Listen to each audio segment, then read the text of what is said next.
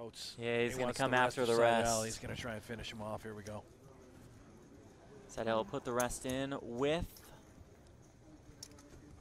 7-6. About a 2 to one dog here.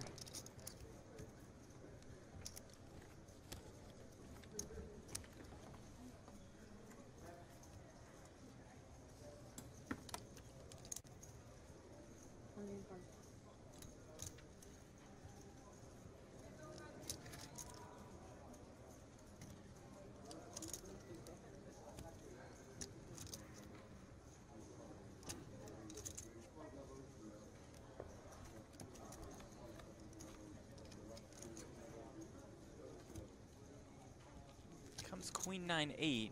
Unfortunately for Seidel, that 10 ball wouldn't do it. That would get Dvoress the straight. So for now, Seidel needs a 7-6 or a 5.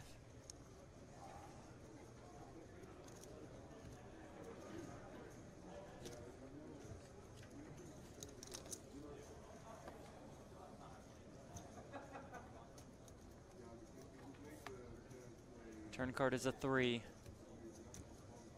10 outs on the river for Seidel to stay alive.